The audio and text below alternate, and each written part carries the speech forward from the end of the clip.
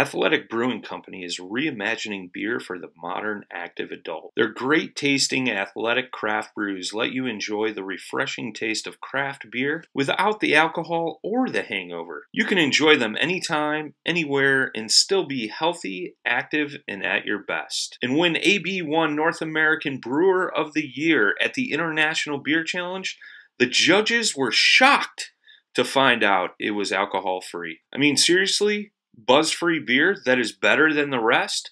And to top it all off, as part of Athletic Brewing, two for the Trails program, 2% of all their sales are donated to causes and organizations that support healthy, outdoor active living through park and trail cleanup and maintenance. Whether you've decided to cut alcohol out of your life for good, for a night, or just one drink, Athletic Brewing Company provides an option without compromises that you're guaranteed to enjoy. To try their award winning non alcoholic beers, go to athleticbrewing.com. Use the code PNF20. You'll save 20% off your first order. There is free shipping on orders of two six packs or more, or you can use their store finder to find it on shelves near you.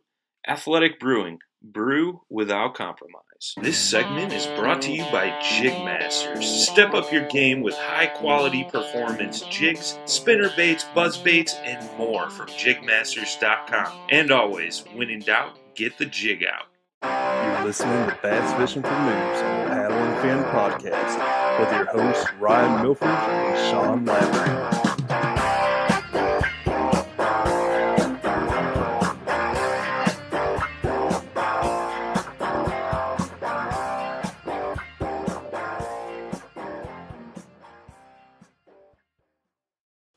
Welcome back to Bass Fishing for Noobs on the Paddle and Fin podcast. I'm Ryan. Got my co-host in here, Sean. Hey, what's up, everybody? How you doing tonight, Sean? I'm doing fine. Glad it's a Friday. No, it's Monday. This episode comes out. Right, you're right. Nobody's fine. Uh, tonight we have Mr. Bailey Eggbrit. I, I knew I was gonna mess it. We just talked about this. We just talked about I, Eggbrit. There you yeah, go. perfect. Yeah, perfect. Eggbrit. Yeah. We just talked about this before we started recording. Uh, it's okay. Everyone, everybody messes it up. dude. Everyone listening from Tennessee, Ryan threw y'all under the bus. He's like, I'm going to mess this up because I'm from Tennessee. That's not quite what I said, but yeah, yeah basically. uh, yeah, if you don't know Bailey, Bailey's from the Serious Angler podcast. Really good po- podcast, and uh, you know, very informative, especially like when you get into you know talking electronics and offshore fishing and all that, and crazy. And you know, we'll get into that some here because uh, and I, I, I'm really going to need Bailey to dumb some of that stuff down. Sometimes I hear them talking about it, and I'm like, what are they even talking about right now? Yeah, but, but yeah, uh, welcome to the show, Bailey. Um, if you don't mind, you know, for people that don't know you, you know, I done said you're from the Serious Angler podcast, but give a little more detail on who you are and you know what you do and all that good stuff.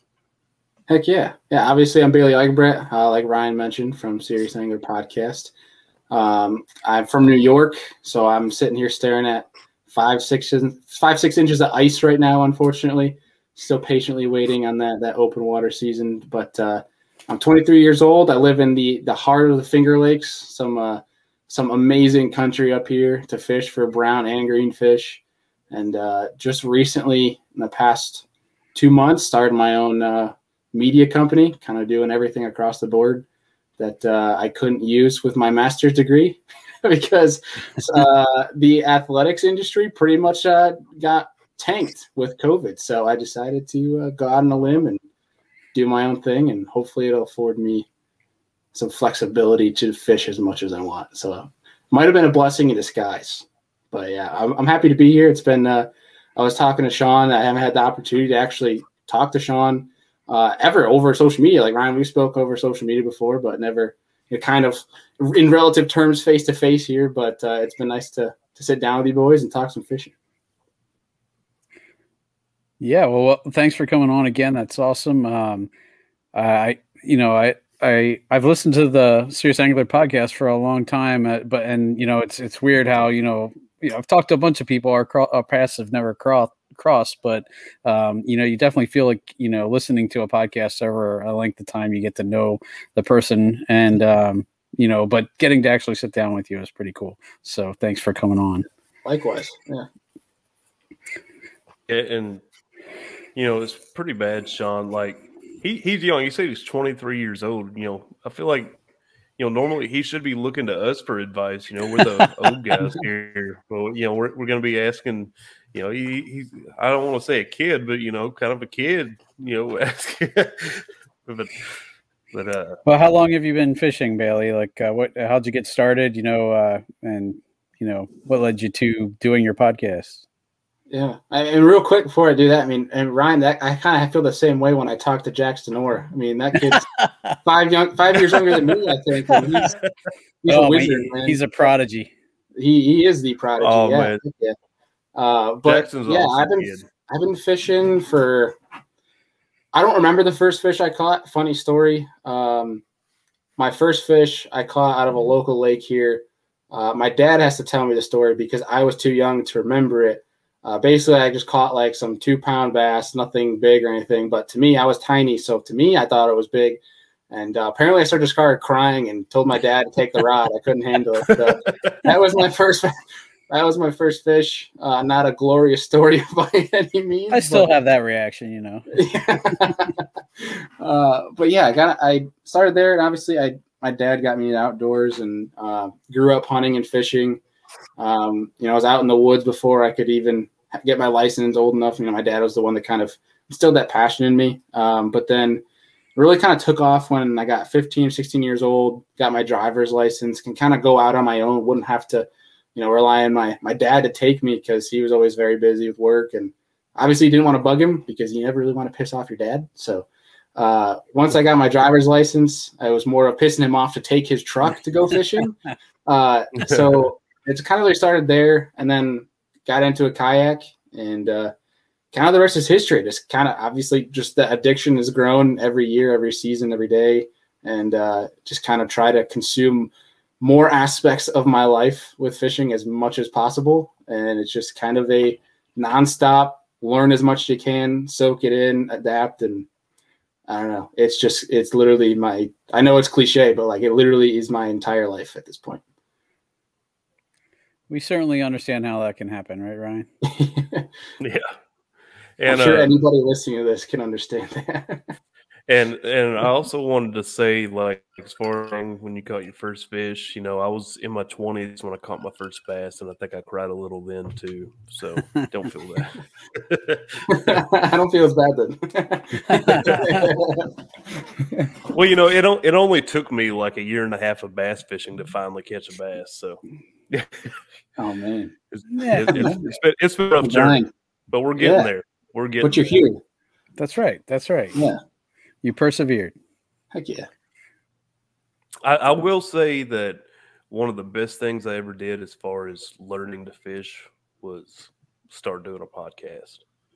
Because like I've I've grown so much as a fisherman since we started started doing the podcast. You know, I've learned a lot.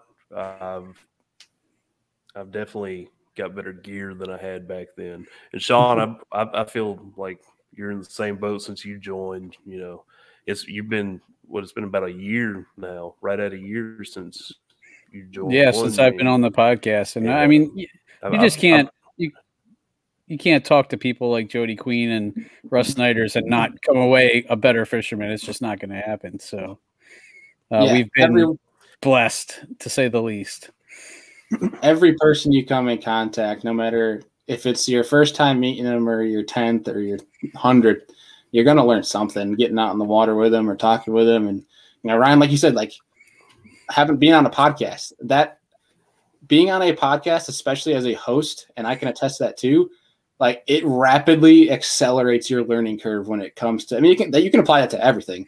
The more you talk about a subject and you talk about it with multiple people and various people, you're bound to accelerate how much you're learning and how much you're taking in, especially if you take the time to like soak it all in evaluate what they're saying and actually like go and put it, you know, to work yourself. So that's I can I mean that's huge. Huge. Just putting in the effort Yeah. to, to learn as much as you can. Heck yeah. Totally agree. is. I Yeah. agree too. Yeah, and it, and it's not just like here on the the noob show we like to talk about you know uh, technique specific stuff, uh, tricks and tips, you know.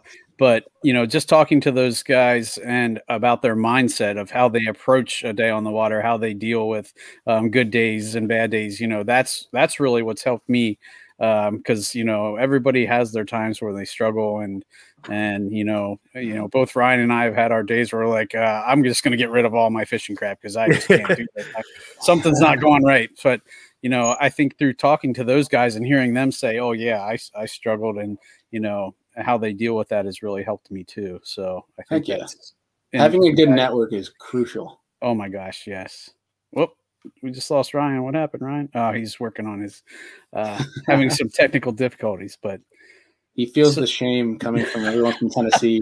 so they're all they just don't want to hear him anymore and he can feel it picking stuff out. I'm, I'm having lighting issues. Okay, I'm sorry. I'm trying to work on. it. Uh, but yeah, so it seems like one of your specialties, you know, that light. My lighting's not going to be great, so You're good, man. hopefully most of y'all ain't watching this, y'all are listening. Um, but uh, but yeah, so it seems like one of your specialties is offshore smallmouth fishing, and up there in New York, it's like y'all have some giant mutated smallmouth. it, I I mean, it's like you know, maybe not right now since you're not able to get out uh, due to the ice, but man, it's around during the fishing season for y'all, man, it's like you're constantly pulling out these huge smallmouth and he- hearing you talk about it, like, like you going around, like on your podcast, you know, you talk about, you know, catching all these smallmouth. Like, I'm, I'm so jealous because, like, I don't know if I've ever caught like an offshore fish ever. And, uh, you know, I know we've dabbled in it uh, with a few people before, but uh, I'd like to talk with you a little bit about that too. Like, where where do you even how do you even get started with that? Because uh, me and Sean have talked about it before. How you know if we try to approach like offshore fishing, you know, if we see something on our graph, which I've got like a little four inch Lowrance hook, uh, hook two four X. It's like four inches. It is no side scan or down scan. Mhm. Uh, Sean, I believe he's got down scan and side scan, but it, uh, you got like a five inch screen, right? right So, so it's still kind of a small screen, but he's got the side scan and down scan. Right. But if we do see something on, we don't know like, is it below us? Is that in front of us, or is that something we already passed, or what? So, Mhm. how, how do you even get started targeting offshore?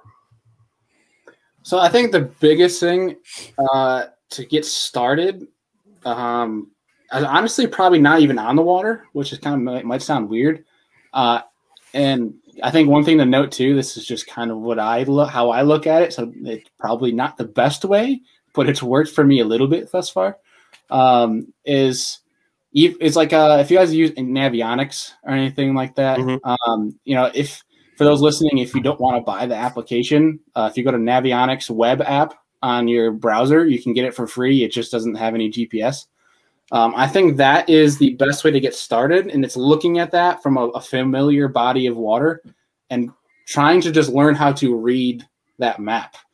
Um, so knowing what humps look like versus holes, um, and then almost trying to when you see that and you know where it is, try to almost develop this kind of like a I want to I don't want to say 3D, but try to visualize it above the water so that way you can kind of help help yourself understand how those fish are going to set up and how you should position yourself to therefore try to target those fish.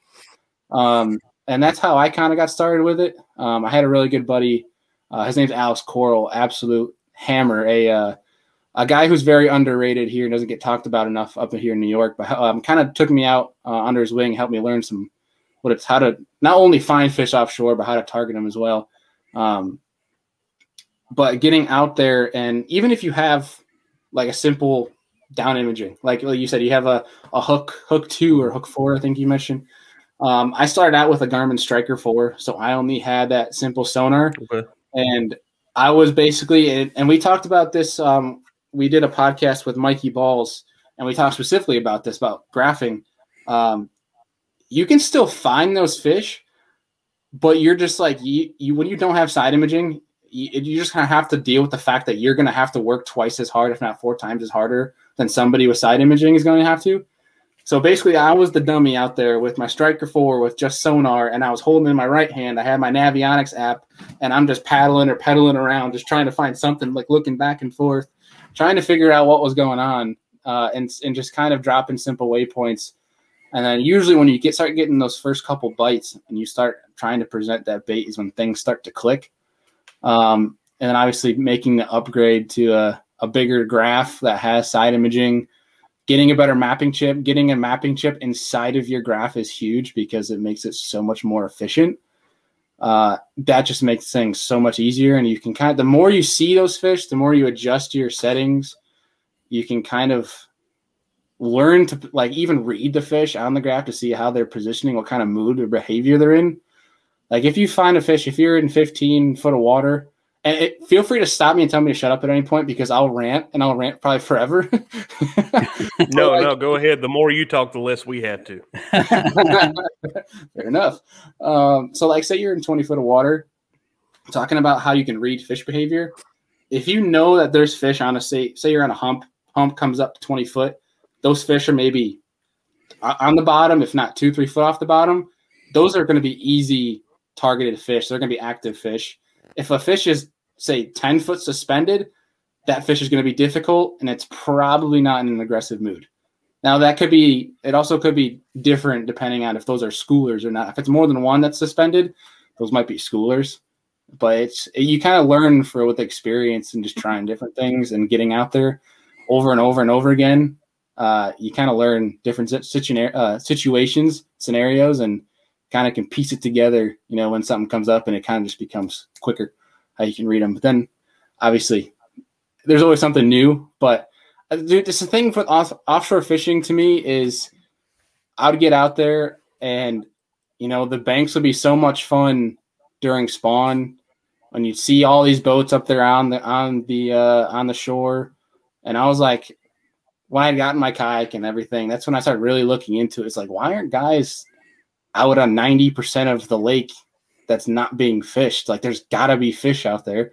Looked into it more and obviously realized, okay, this is a thing, and made a network, got some connections, and like started learning and like it's it's crazy. There's a shift, and I think it's being talked about down south as well as how everyone is is offshore now. So shallow's becoming good down south, but up here in the north, in the north, we're still like five years behind. So everyone's still up shallow, and offshore fish are like they don't see baits as much, if at all. So it's like when they're out there, it's much easier to catch them. And I'm already working hard to find them. I don't want to work just as hard to catch them. So it's, I don't know, it's it's just so much fun offshore. I, I like the electronic aspect of it. Uh, I'm sure I didn't even answer the question you asked, but there, there's you know 10 minutes of t- talking offshore. well, let, well, let, let me ask you this because you, you were mentioning humps, and you might have already kind of answered this, and I just not didn't understand it because I got kind of a simple brain. But uh, you know, you, you hear people talk about humps. They're like, "Oh yeah, fish the humps." I've never heard anybody that I can remember actually explain how to fish a hump because I've attempted to because uh, there's one specific hump down here on one of the local lakes where there's it's actually you know it comes up pretty close to the surface of the uh the water Mhm. um and so there's actually like a piece of white pvc or something sticking out but put there by T- twra to let boaters know that it's there uh, Right. so that one's pretty easy to see where it's at so that's where i practice at but i don't are, are to be on top of that hump or like on the sides of the hump like how where do you cast do you cast over it and bring your lure over top of it or do you go to the side and bring it like how do you target the hump where are the fish at Yeah, I think that could be, you know, the answer could be different depending if there's current or not. That could be a huge factor, and depending on how you situate on that, how big the hump is. Like, Okay. Is there is there a 40 yard flat on top of it where you can't cast across it? I mean, if it's something where you could simply sit on the south end of it and cast past it on the north end, you, I mean, if in that kind of terms you want to sit off of the hump, you don't you never really want to be on top of it because that's where the fish are going to be. They're going to be either on top or they're going to be situated just off the break, and that's what they're sitting there waiting for bait fish, uh, whether bait fish or crawdads. If there's rock, I mean, if it's if you're talking about just hard bottom, you're probably just going to want to you want take a few casts, try to bomb it across across that hump, bring it over the hump, and then if you know there's fish there, try hitting the brakes. So, like, say if you're on the south side of that hump, try hitting the east or the west side. So, like, so say your hump's here, right? You're going to position below it, and you're going to cast to the east and the west side where those breaks are, and try to target. Maybe maybe that might be an avenue where those uh, the prey might be trying to get around the hump, and those fish might be sitting on that south side, and like you can obviously that's like an ambush point. But if there's no current, I mean, I would just play around with your angle. I would just start somewhere sitting off of it, cast. If you know there's fish there, go to the complete opposite side. Change your angle of approach. Um, but if there's current, I mean, that could be. It's it's super interesting. And like up here, we have like the St. Lawrence River. We have our big glacial lakes that can have wind-driven current, um, and that really plays. It cannot. It's almost easier to position yourself because like the current kind of forces you to. But like you basically like say if there's like a hump out on St. Lawrence River, you basically want to get down current of that and cast up to it, or you want to do a drift. Drifts can be that's a whole that's a whole nother episode. Drifts are crazy. uh, but what's interesting is you'll have fish that are like more lazy fish sitting behind that current where there's a break, but there's also fish that might be a little more aggressive that are going to sit on that front facing part of that hump. So what the current is doing, so there's the hump, that current is coming and hitting that, but the fact that it's hitting that hump, it's creating almost like a like a bubble right below it. So there's fish that can sit in that bubble and wait, and they, there's there's no current hitting them. It's just flowing right over them, and that bait's just coming right to them, being driven by the current. So it's like one of those things you kind of kind of play around with it. And electronics are huge. Like you got to like you just take a couple laps over it, and under the kayak, it's kind of nice because you don't have a loud freaking motor, so those fish don't know you're there for the most part, and you can kind of tell if there's fish there or not. And if not, you can when you get good with it, you can kind of just move on and know that there's not fish sitting up right there. You can kind of tell if there's maybe two or three, they might be moving somewhere else. They might be on the way, or depending on the season, they might be moving away from you. So it's it's one of those things where it's kind of a seasonal thing and kind of just kind of get a read for what the fish are doing. But yeah, that's probably might be a loaded answer, but So, Yeah, so as well, you- you're, go ahead, Ryan. I was going to say you got my brain flowing about this particular hump because I feel like I can figure if I can figure that out, that'll help me, you know, w- like target other humps. right. But uh, but it's, it's up to you if you want if you want to like give more specifics on it. But like, does it have current? uh, yeah, it's actually like right off the main channel. Uh, so so I'm sure there's current hitting it over there. So I try Yeah, to I'm- position yourself. What I'm trying to picture, try to position yourself on the down current side of it. So like I, where I the current's pull this going down. can, Yeah, if it does it create like an eddy off to the side of it if it's off a main river channel. let me. Because if it creates an eddy, that's perfect for you in the kayak. you don't have to move.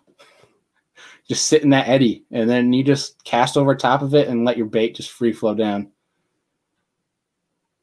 depending on what you're throwing.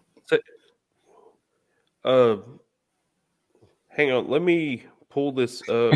Sean, you were going to say something a minute ago. I'm not I was just going to ask uh, um, Bailey, as you're moving around, how much are you looking at your graph to determine whether you're going to stop or fit and fish, or, or are you constantly looking for groups of fish to at least make it worthwhile, or or if you see one or two, will you stop and throw? I think it re- really depends on the bite. If I'm going for smallmouth, if I see one or two, I mean, chances are there's probably more. If you see like four or five, chances are there's probably 20. Okay, Um, largemouth are kind of tricky when they're offshore. Um, but for the most part, I mean, if I'm not seeing at least two or three fish on my graph, I'm not going to stop. Can, Um, can you? It's pretty blurry. Hang on, I can. I think zoom. probably- Is if, can you zoom into it? Because I think I see a hump with like a green pin. Well, there's a. Uh, there's like a. Let me move my. It's like a red circle. Probably Oh, be easier for me to just screenshot and send it to you. Yeah, how much? How much does that rise from? So it, It- looks like it's it's- on a it's decline. not- Yeah, it's it's not huge. It's you know, this is showing it's showing that it's five feet here's the hump and you know it kind of tapers off to like nine foot right in there. Hmm. It actually it actually looks like it's less of a drop is than it normally does. I don't know why, but Yeah, you can just screenshot and send it to me if you want it. We can just talk about it after. Yeah, and I'll, I'll I'll send it to uh, Sean as well, so he's not lost. Cool. But yeah, But yeah, um, so yeah, basically when I'm looking for schools, so like on a certain body of water where I know I'm gonna be looking for a spot where it's gonna be offshore and I want to sit on that spot for a while and catch several fish, uh, I'm gonna look for at least two to three marks because chances are there's probably gonna be ten to twelve fish. Um, just because usually when you graphing those fish, especially on unless you're seeing a big school on your side imaging, if you're looking on kind of your down imaging, if you see two or three, chances are there's three to four times what's actually there. Um, just because that's what's inside of your cone. Uh, the whole cone can be kind of confusing and it's kind of different, I think, with different transducers from different companies. But like general rule of thumb is I think is like every 10 foot is like three feet, or every three foot is I don't know the actual numbers for it, but it's supposed to be I think like 30 foot uh, if you're on 30 foot of water, your cone is, I want to say like, I want to say your cone's like 60 foot circumference, if that makes any sense. Yeah, we've talked to Bass Geek about this before about how the I think it's a rule of thirds. Depend well, it depends on a what uh you know whether you're running uh you know high res or or what is it 433 or 800 megahertz. Yeah. Right. You know, but uh, but yeah, I mean, him, I remember him saying something about that as well. Yeah. but that that makes sense that if you're you know what you're seeing on your cone is obviously only a fraction of what's actually Mhm. down there so it makes sense if you see a bunch on your cone that there's probably more surrounding that cone so yeah. Yeah. And like for, for me, uh, kind of like what I like to do is for the most of the time, I'm going to have, uh, I run an HDS 9. And what I do is I have my bottom layer as side imaging, both sides, and I usually have it out 60 to 80. And then I'd have is I have my mapping in my top left, and then I have uh, I have my 2D and I have a down imaging cut in half on my top right. And basically, predominantly what I'm doing is I'm looking at that mapping from where I want to position myself to graph. And then I'm looking at my side imaging because I'm looking for structure, but I'm also kind of glancing at my sonar to kind of get a feel for what's going on. Um, so like if I find an area, so say I'm on, I'm side imaging, and usually say if you're on 30, 40 foot of water, you're not going to see those fish on side imaging. They're going to be absolutely minuscule. Like 12 to 15 is perfect to find fish on side imaging. They'll glow pretty well. Um, I think that's a lot of a, a big misconception. Uh, misconception people do is like, say you're in 30 foot of water and you see a big mark off the side in side imaging. You're like, oh, it's a big fish. And yeah, it's probably a carp. Like it's it has to be a big fish to make that to glow that much. Um, but basically, I try to find structure with the side imaging, and it, depending on what depth it is, I go back over that depth and I look at my 2D, my down imaging to see if there's fish on it. Um, you can kind of adjust from there if you want to actually stop and fish, but like either way, you mark it and just keep it there because you never know. Certain conditions can pop up, and you're like, oh, I have that one place marked. There could be with this conditions, those fish could be right there. i definitely gotta get gotta get better at dropping waypoints because too often i i i gra- or pass over them graphing see them and i'll just instantly want to turn the kayak and just start throwing but if i drop a a pin, it'll help me find them better than just trying to eyeball. Oh yeah. Once I turn around, and I but usually I get so excited, I'm like, oh, whoa, look at that, and I get more concentrated on not losing the spot than I do, you know. And I should just you know drop a pin, and then you know make my turn and be able to look at that pin and say that's where they are, and okay, this is where I am in regards, uh, you know, uh, in uh, I just lost my train of thought in we got in, in, in, aspect to that to that mark, you know. So I, you know, rather because so many times I, I just try and turn around and and try and cast to that spot, and more often times than not, it in the process of turning, I lose where it is, or you know. So mm-hmm. I, I think that's a definitely something I need to get better at is actually dropping the waypoint on the graph so that I have a frame of reference to to, oh, yeah. know, to know positioning wise. So heck yeah, dude. I mean, if there, if you know the structure there, it's especially if like it's a non-tournament, it's so important. Like it could be that's a fisherman's like standby is his waypoints. Like that's his his lifeline. So I mean, you if you know the structure there, like you know it's not an area where it's just a random rogue fish. I mean, drop a waypoint on it because if that fish, if you see fish there, chances are good most likely they're still going to be there when you turn around and if they're not there when you turn around you weren't going to catch them anyways because they were already gone out of your cone by the time you drop down. Now that obviously could be different. Like if you're dropping on smallmouth, you want to drop right away because you want to get to them ASAP, especially if it's like summer months. But uh, for the most part, if you know the structure there, yeah, get your waypoints there because like you might miss a fish now, but like now you have a waypoint for fish for however long you want to fish it. Right, right. That makes sense for sure. Yeah. I've always wondered, you know, because I haven't played too much with um, waypoints which mm-hmm. I mean, I've got a cheaper unit, so it might be different with like the more expensive units. But I've always wondered, like, after I unplug my battery and everything, if it still saves inside there or if it resets it. Your your units have a, a memory. Like, if you go back on my Garmin Striker 4, I didn't have mapping whatsoever, but it like will tell me where my boat is. So, if, like, you just look at my Garmin Striker and you get on the GPS and it's just random plotted dots on the screen. You just take relative of your boat where it is to the waypoint. Uh, but it is a lot easier yeah. with, with, bigger graphs that you can actually put mapping chips into. It's so much easier because you know, especially it's you know, if you're on the off the water afterwards and you want to do a little you know a- analysis of your day, you can sit there and use your graph with the mapping when you're off the water. You don't have to be uh, like on the water in your boat, and that sort of thing. You just got to hook it up to the battery, obviously. Yeah, see that's that's what I've got. Mine is like a white screen, and it allows mm-hmm. me to make a waypoint. But I've never, I I've been meaning to. I just when I get on the water, I'm like, I want to fish, I want to fish, I want to fish. So I've I've never stopped to do it, but I wanted to play with it, and like mark it, unplug my battery, reset it, see if it saves. But like I said, I'm, it'll still be there. Yeah.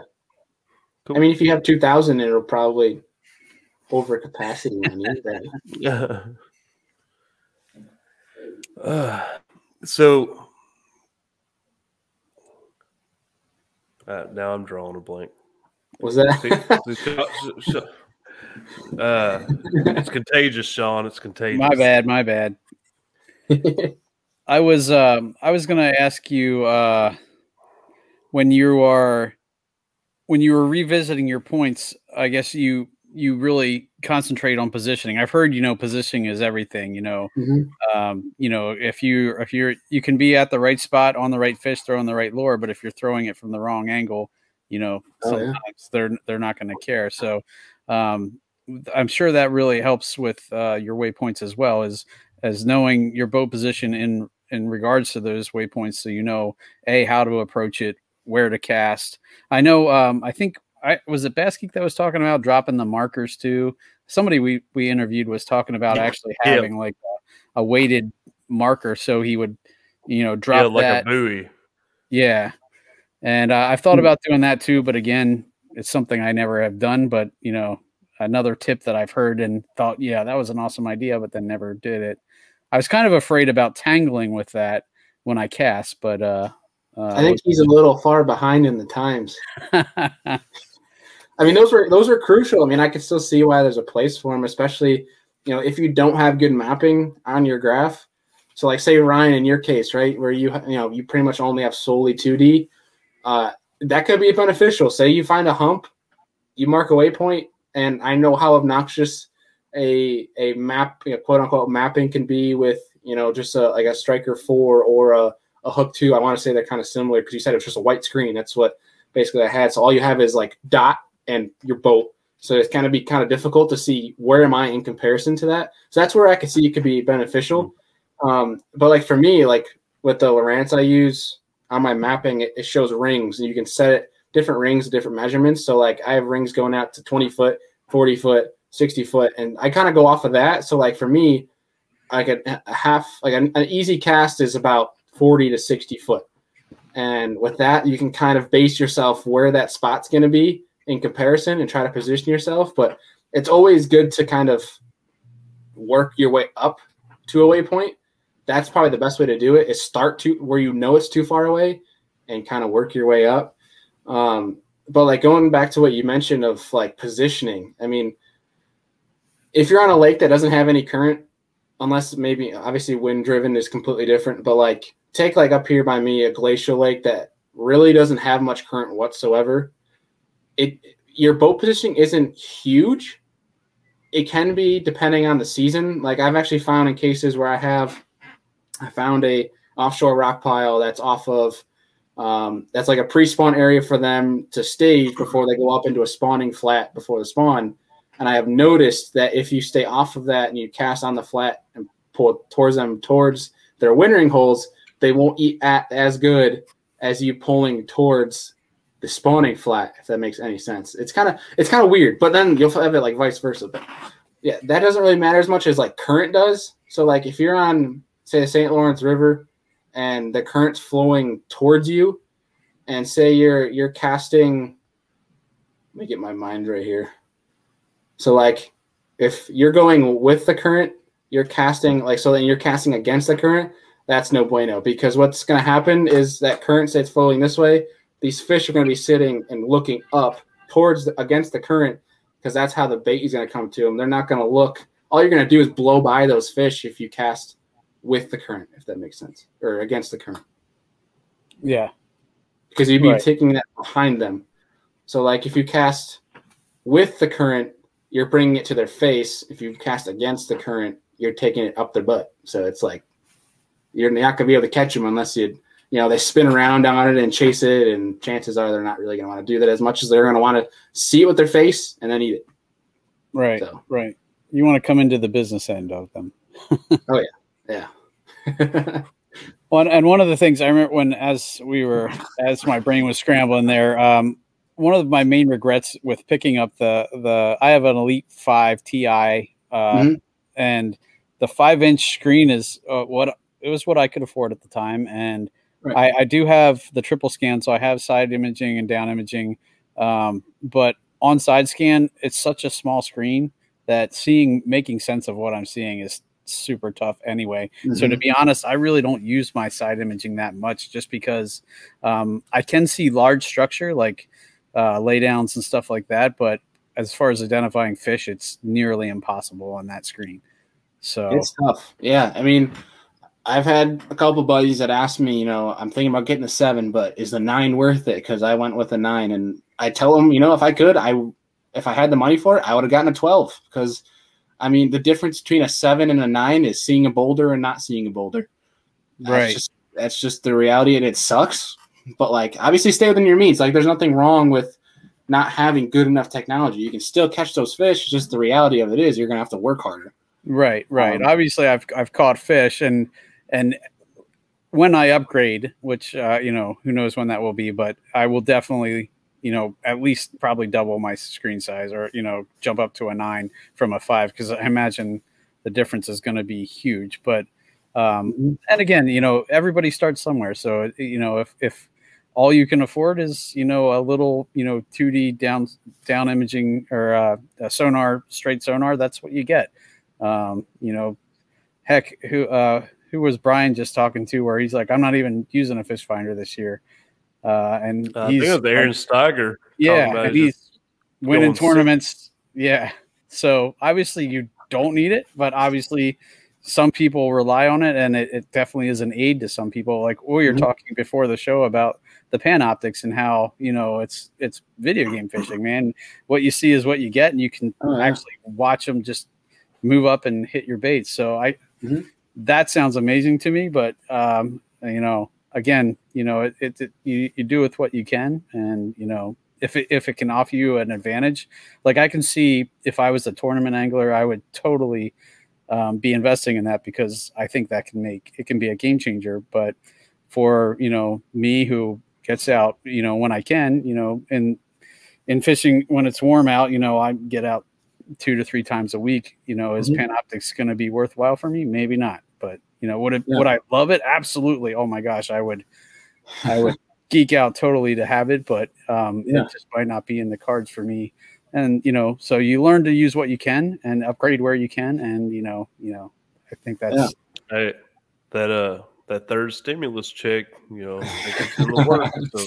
Yeah. but see, the problem is I've, I've, I've been like, oh, I could get a kayak, I could get a sonar, I could, or uh, a, a new fish finder, or oh, there's and the wife's like, I can get a new piece of jewelry. Exactly, and my wife's like, no, no, no. I mean, that's the thing too, and I think it should be known. Like, and I think that's not stressed enough. Is like you don't need to have these graphs. You don't need to have them. To me, in my mind, I have to have them because I love offshore fishing, and that's one of my biggest strengths. But do I need it? Heck no. No, I don't need it. I mean, look at John Cox on the Bassmaster Elite series, or look at like 90% of what kayak anglers are doing now is they're getting these backwaters without graphs and they're cracking giants winning derbs. I mean, that's Drew Gregory. Drew Gregory's a huge one. Yeah. It takes three rods with him. I mean, I can't imagine doing that. My mind goes crazy because if I have something wrong, like one thing I'm missing, I'm like, I should have brought that rod. And then I bring 12 rods with me and then it's a cluster.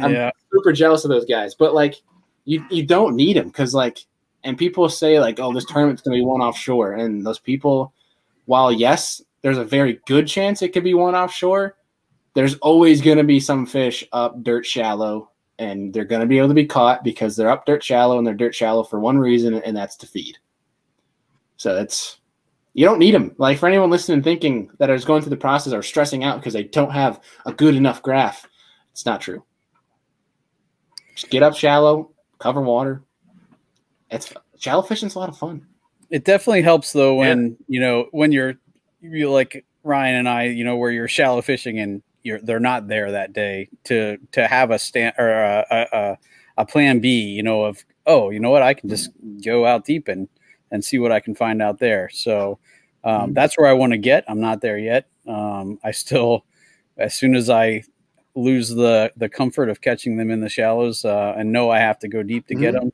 uh, uh, that's when I'm like, okay, let's go shoot in the dark here and see what we can find. And haven't been as lucky or as productive as I would like to yet, but you know, definitely I'm learning and and uh, you know, I'm also, you know, right now in the winter uh, on the lake that I fish most, I, they say that's where you go.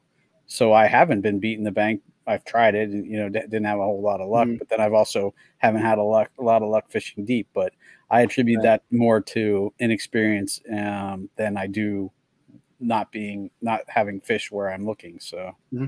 a day on the water where you don't catch anything is just as valuable as a day on the water you catch a hundred. Right. It right. could be more valuable than a day on the water where you, you, you know, I, I hear people say that and like that's coming from people that rarely ever have days where you don't catch anything. You know, for us that have a lot of those days not catching anything, it gets really frustrating. I, I can understand that. And every angler's been in that stage though, dude. Like you get to an angler that goes out there and smashes them all the time, and that's just because he's had a hundred days where he catches jack crap, and he just. But those are the anglers that are after their day on the water where they don't catch anything, even if they do catch stuff. They're asking themselves the right questions, like what did I do well today? What did I do wrong? Why did why was it wrong? What should I have done differently? What variables did I look past? Did I not dive deep into enough? You know, like, was it one of those things where you, you went up shallow, but you didn't go shallow enough? Or did you pass on that one creek where you might have had a gut feeling that they might be in there, but you're like, oh, it's just a weird time of year for them to be up there. But then you go and see a tournament gets one out of there. So it's like one of those things. It's you got to ask yourself questions every day. That's what I try to do. Like every drive home, I try to like ask myself simple questions. What did I do good? What did I do bad? What could I have done differently? Even if I went out and had a great day, there's something I probably could have done where I could have caught more fish, caught bigger fish, done something more efficiently. Because there's always something like if you try to take one lesson out of every time you're out on the water, one lesson, like it's crazy how much you learn and you can remember because next time you're out in the water, you're like, wait, this is where I went wrong last time. Then you switch, and then when you switch and you catch one, light bulb clicks, and then things just start kind of spiral, and you're just starting to get dialed. So it's just kind of one of those one of those things. You got to roll with the hits, and then once it happens, it's not going to happen as often. And and that's probably one of my biggest issues, and something that I have tried to work on is paying attention to those little details. Like whenever you catch a fish, try like just trying to look at all the details what into catching that fish because you you hear some people you know better anglers talk about like which way was the wind blowing? Which way was the sun hitting? And all this stuff. And when i catch a fish i'm just like oh yeah i caught a fish. And i don't tend to take in all those details. I'm just excited i caught a fish you know? Yeah. and uh, i've been trying to get better at that kind of stuff and and reflecting back on it afterwards mm-hmm. trying to bring in that but uh yeah still not great at that yeah, I mean, some quick variables too that I've been I try to remind myself too is like when you're trying to get a feel for what those fish are doing, like if you do run into a fish and you don't understand why it's there, like first of all, depending on time of year, see if it's peeing, like then you can kind of tell if it's a male or, or female, but also tell uh, if you squish its belly, if it's soft and it's like a bit like have like it's obviously they've been feeding. If it's soft, that's bait fish that they're eating. If it's harder, they're eating crawdads. So it's kind of one of those things. Then you can kind of get a feel for how they're behaving, and you can kind of make adjustments from there, depending on like so. Like if you catch, you know, two two or three dinks on a, ra- a red rattle trap, and they have that hard belly, so obviously they're eating crawdads. But you switch to a football jig instead, and now you're catching females. I mean, click, they're just eating craws.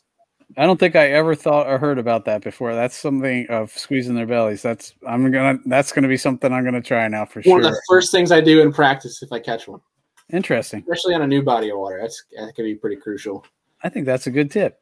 New body of water yeah, too. Something that I was taught uh, by one of my buddies is to go up really shallow, shallow, especially if it's clear water. And if it's clear, it's a lot easier. But like, even if it's dirty, try to like collect some stuff from the bottom and kind of evaluate like look for look for claws from crawdads. Look for you know maybe dead bait fish or something. Trying to get a feel for what's going on. Because like any little variable is going to help you. So it's just one of those things of trying to experiment. Not saying go try to be one with the water dive in go scuba diving but like something something little to pay attention to that you can do for two minutes while you're at the ramp. Yeah yeah i mean I, I've I've had a a similar thing where I've actually, you know, noticed something like that and been able to put it to use. You know, uh, I was out on uh, on Stones River, I believe it was last year, or well, I guess not last 2019 fall, and uh, actually get, went over to the bank, got out to uh, to pee, came back, and you know I'm on I'm standing on this like rock, and then it like drops off in like this rock wall and I, I look down and I see like a like a brown crawdad, you know, in the water running on this rock that I'm standing on, tied on a natural crawl jig, and you know, started catching them. My buddy would. Heck yeah. It's just little variables, man. And the more you learn, the more you adjust to them. Like you're never, and that's the fun thing about fishing is you're never gonna understand everything. But like little things are going to get easier and it's going to come more naturally. And you're going to have these anglers that are, you know, looking at a tournament side of things. I mean, a great example for like kayak side, Cody Milton or Russ Snyder's, there's a reason why they are so good every single time. You know, it's because these variables, they're just coming more naturally. It's muscle memory and just coming quicker. They're putting things together faster. It's not like they're doing anything crazy. They're just understanding the fish better. Right, right. and once I'm, you're confidence builds, I think you know confidence builds confidence. So the oh, the, confidence is huge. Right. Yeah. Uh, yeah. Ninety percent mental. Oh yeah. It's definitely yeah. and and it's a struggle for for uh you know noobs because you know they don't have that confidence and you know, unfortunately, you know, that the the same is also true that if you know you're really struggling, you know, it's hard to build confidence. But that's where you just have to you have to put in the time. You know, spend time on the water. You know that that was what uh, one of the things that was tough for me to learn. I could watch a million YouTube videos, mm-hmm. but until I actually went out on the water and and practiced what I was learning and and like you said, you know, even if you don't catch anything, um, learn from what you did. So uh, maybe, hey, I spent too much time throwing this or in this location where I wasn't having any bites. So, um, you know, just learn from that and and and move forward. So I, I think that's huge. De- definitely putting the time in. Um, you know, and it's tough because, you know, as weekend warriors, or you know, sometimes we don't have as much time as some of these guys do, where they spend, you know, you know, hours every day on the water. But uh, you know, definitely the the more time you can spend, I think the more it's going to help you grow. Oh yeah, and I think another thing that's crucial too, you know, like say, I mean, obviously YouTube videos you can learn a lot from, but I think another thing that's important is feed through the bull. There's a lot of BS out there that people put out, uh, and it's just kind of one of those things where you can learn from them, but like don't make it like when you when they say something don't think of it as like that is the rule. Like it's night and day just try to like to see what remember what they say and then when you go out in the water kind of apply it see if it does apply for by you because a lot of it could be regional advice right. see what kind of applies by you what works for you don't like take that thing to heart completely and be like all right what they say is 100% correct and it's impossible if it's any other way like because that's not true at all uh, I think another thing that's important too is like like we talked about that network. A network is huge. Like if you're struggling to do something, if you're having a couple bad days, you know, reach out to a buddy or maybe even reach out to a guy that you've never talked to before. And I mean, don't go ask and be like, "Hey, can you go put me on some fish? Put me, you know, kind of one of your spots." I never ask for spots, but like, be like, "Hey, man, I'm struggling. I want to learn." Because a lot of guys, especially true anglers, they're gonna respect the grind. They respect you wanting to learn like, hey man, is there any any chance that we can link up and we can just either chat or maybe get on the water? You know, just help me put these things together. I'm like, and, you know, try to reinforce that. You know, I'm not asking for your spots, but like, can you help me learn these fish a little bit better? Right, and people, people respect this. I mean, you you might get shot down, but also might people will probably respect it and probably meet up with you. So, I, I think you know our community, the community of kayakers uh, from what I've seen, you know, really is like that. The you know, I don't know how many people have offered, you know, to take me with them, or you know, uh, and I was very bashful at first, and I, I still am that way to to some uh, some respect. But uh, you know, go out and check out your local kayak club, and you'll be surprised how many people there want to, you know, want the sport to grow and will will take you under their wing and kind of show you around. At least enough you know yeah you don't want to say hey i want to you know put me on the fish or whatever. You mm-hmm. respect their spots but you know there's so many people out there that are willing to you know help you and and you just have to kind of take that step to reach out and ask for help and that also yeah. what you were saying about youtube that was another thing that uh, took me a little bit to learn that oh, you know, I might see these guys catching huge bass, but that's out on the California Delta. That might not apply at all to me in Central PA. Um, there are obviously some things that are going to match up, but big giant uh, Huddleston swim baits might not be, even though they're slaying them out there with them. That's probably, you know, not going to totally be uh, something I'm going to, you know, slay them on the same way here in Central PA.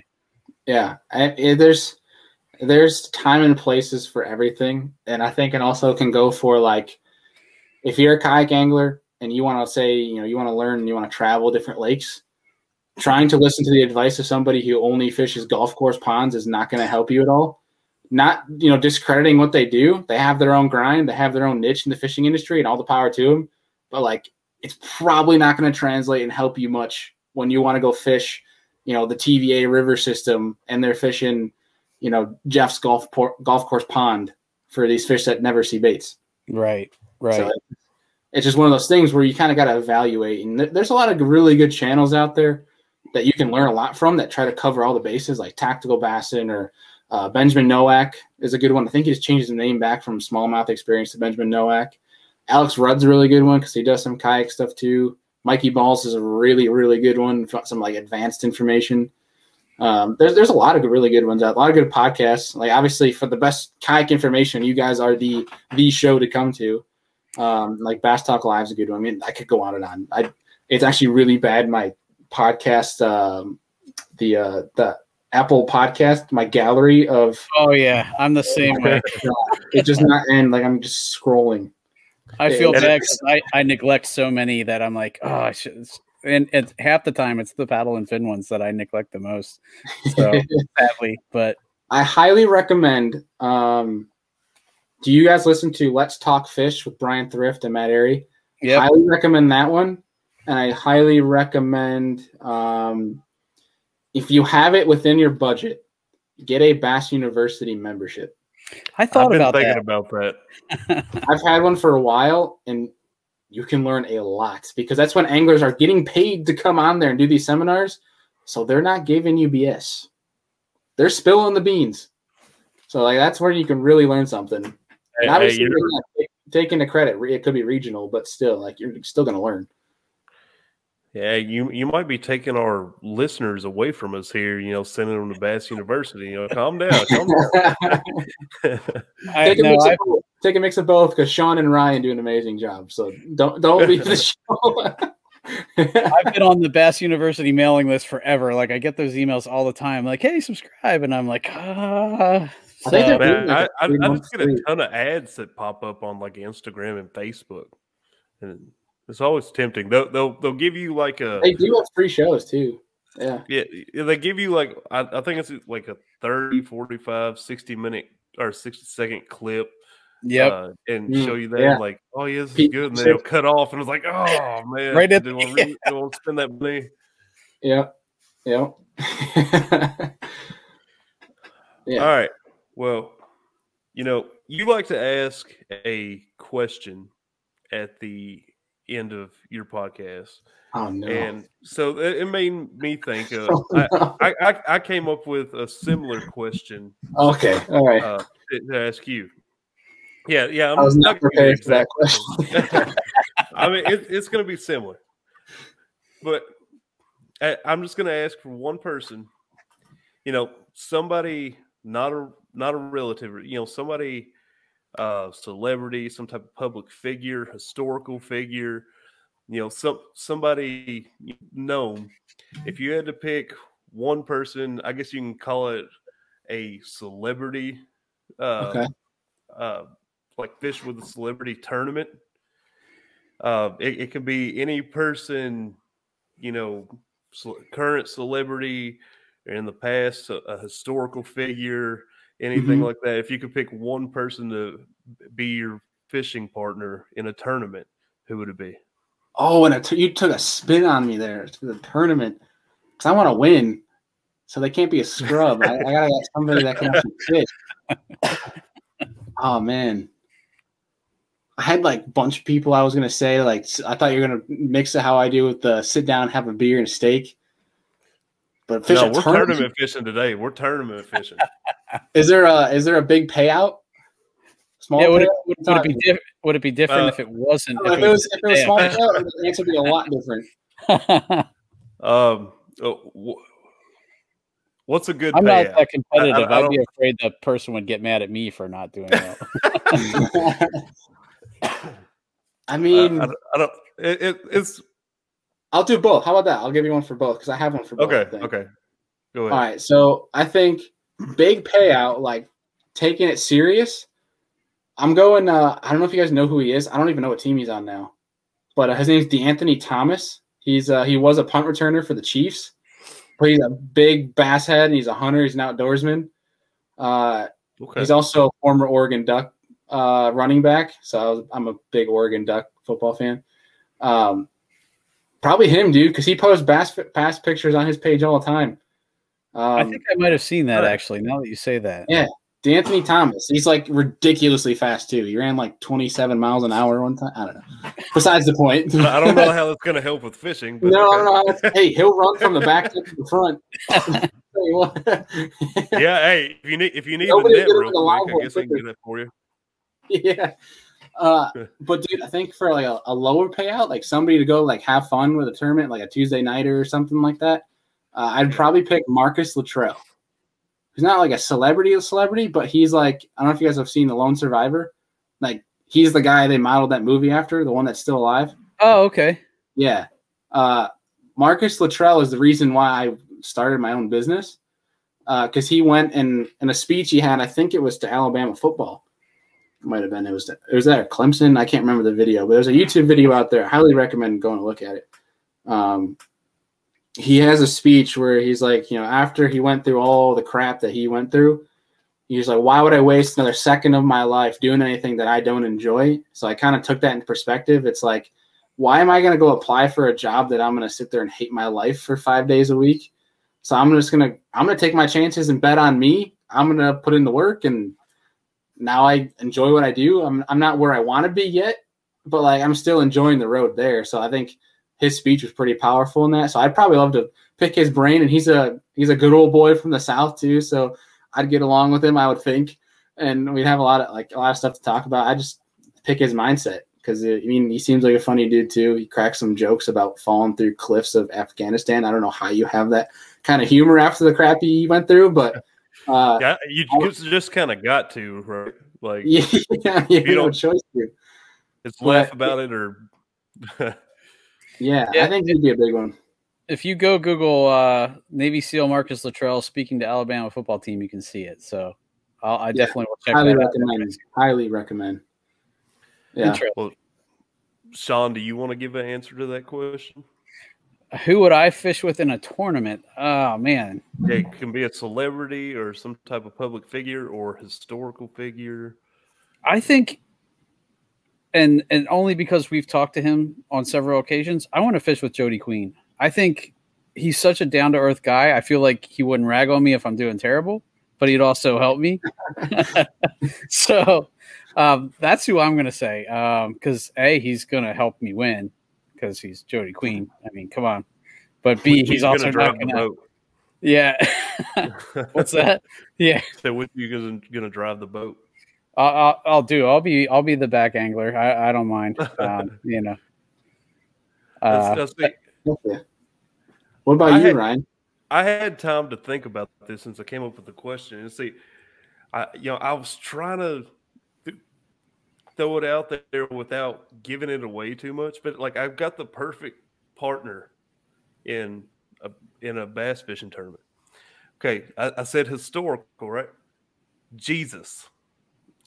Jesus is going to be my tournament partner. It's like, oh, I, you know, I caught a five pounder, but it's the only fish I caught. Like, no, we caught five five pounders. Boom. He's going to multiply them right there. Well, yeah, you've heard, you've heard the story of he tells you even which side of the boat to throw your nets yeah. on, man. He knows what's going on. Yeah, I mean, y- y- uh, y'all can't. I, I don't care. You know, I love Jody you He can't compete with Jesus. He can't compete with Jesus. You're right. He's you're right. In, he's probably in like a group text with the fish and asking where where they're at when they're meeting up. All right, we got to go get caught again. Oh well, you know. where, where we landing, we're, we're coming, Jesus. We're on our way. Uh, oh my, that's. I mean, that's. I wouldn't have guessed that answer coming from you, but I, hey, that's. I. I'd what, what's that it. supposed? To, what's that supposed to mean? No, no, no, no, not. Hey, not I'm, I'm, I'm, no, no, no. Even what? What? No, no. Uh, but I, I was expecting like a Bill Dancer. Uh, not, uh, my mind did not go there. So no, I love it, to watch Bill Dance break a bait caster and fall in the lake. I would love that. no, or his if we trolling motor goes. yeah. yep. No, if we if we took Jesus out of there, I'd probably pick Attila the Hun because he's just going to go in there and like slay some fish. And you ever watched uh, what's the show? What was it? Turtle Man. Have you guys ever watched that? What, what do you oh, mean? Yeah. Have you ever watched that? Be, I feel like, like I laugh all along fishing with him. oh yeah, if you're gonna if you want a, an entertaining day on the water, I could think of a million people. Holy cow! Oh, Jeff Foxworthy, I would love that. Uh, the blue collar comedy crew would be a blast to fish with. Uh, I don't I don't think I would get much fishing done, but no. yeah, I wouldn't mind going out with the tactical bassing guys. I feel like you know I think that would be a, a, fun too. If I ever make it out to, well, I guess they're not in California anymore, are they? They're. I think they're on Chickamauga now. No, they're here yeah. in Tennessee. Oh, geez. Yeah. Now I, Everybody's going to Tennessee. What the heck? Hey, It's fine. It's like a re- YouTube reunion every day on Chickamauga. Everyone's out there. Heck yeah. Well, Bailey, appreciate you coming on here and talking with us. You know, when I when I originally reached out to you, the plan was for this episode was to just talk trash about Brian Schiller and Josh Smith the whole time, but I th- believe this episode turned out to be almost as good as that one would have been. Josh is Josh is a good dude. Brian, I hate that guy.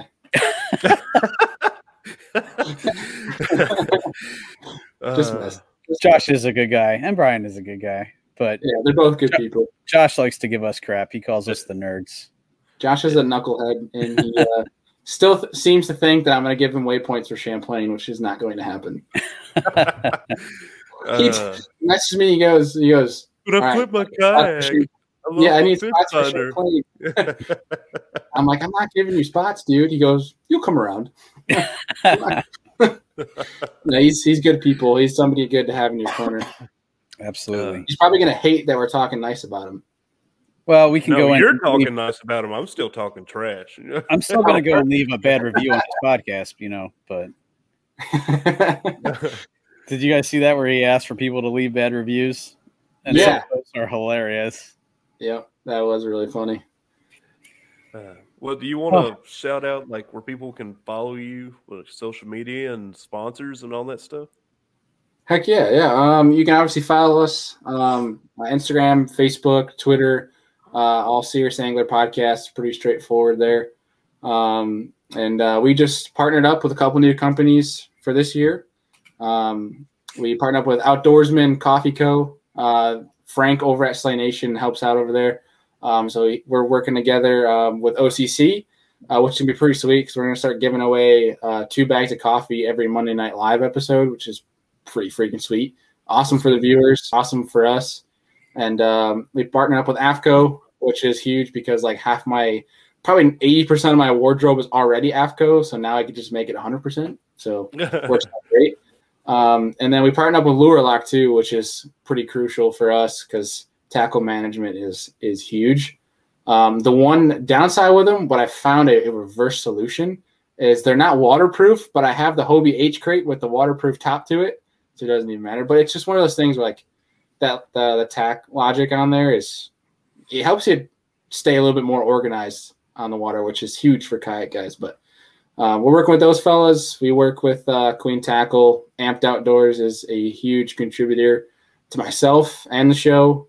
Uh, I'll be sleeping out of my car a bunch traveling this year, and they hooked me up with a, uh little battery pack that like uh, I don't know if you guys have seen the Ice Hole Power.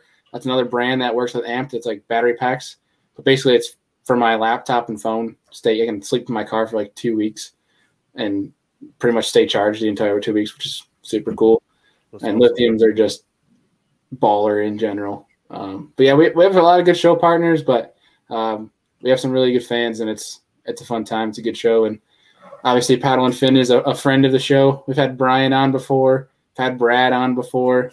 I talk crap to Brad all the time. Such a, he's a good dude too. Um, which he's been catching some winter hammers down there in Ohio for how much he complains about Ohio. I know he's he's like Ohio fishing sucks. Just look at this twenty incher. And I, I always give him crap because I'm like, dude, just go up to Lake Erie. There's smallmouth right there. And he goes, no, that's cheating. And I'm like, not cheating when you catch 25 pounds on Lake Erie and they're all over 20 inches. That's a fun day. Go do it. but yeah, no, I appreciate you guys getting me on the show. It's it's been a blast and finally get to talk somewhat face to face. And Ryan, I'm going to be down in your neck of the woods in about 27, 28 days. If you're not sick and want to link up and go fish something. If if I'm not sick and I'm not working, that would be cool. I do. We'll get on. We'll get on chick. Get after some fish. Maybe run into the tactical bassing guys. You never know. Might do Maybe go hop on the boat. Yeah, there you go. it. Won't even ask. We'll just we'll hop. Just roll up beside him and jump over. yeah. We'll we'll, uh, we'll get up with my boy Caleb Bell, who's been catching 11, 10 pounders, and we'll get ourselves a, a DD on our hands. That'd be awesome. You you get with him, you don't even need the tactical bassing guys. You know. Nah, I want the hometown heroes. They know the lake the best. Right, right. Yeah. Heck yeah, but I appreciate the you letting me come on and be a part of the show. It's it's been a blast. Cool guys. All right. Well, um, everyone, thanks again for listening. This has been the Bass Fishing for Noobs segment of the Paddle and Fin podcast, where we bring you the techniques, the tricks, and the tips to help you rip more lips. Thanks, and uh, have a good night. Later, yo. Thanks for tuning in to another killer episode on Paddle and Fin. Don't forget to go check out our website at paddle, the letter N, and fin.com. Don't forget to check out the YouTube channel at Paddle and Fin. If you got a question, comment, want to hear from a future guest on a future episode, feel free to email us at paddle, the letter N, and fin at gmail.com. Don't forget to follow us on social media at Paddle and Fin on Facebook and Instagram. Shout out to our show supporters, Anglr. The Anglr button and app just makes for a better time on the water and creates a virtual logbook for every fishing outing out on the water. Shout out to Rocktown Adventures, located in northern Illinois, for all your kayaking, camping, and hiking needs. Shout out to Jigmasters Jigs. When in doubt, get the jig out. Go to jigmasters.com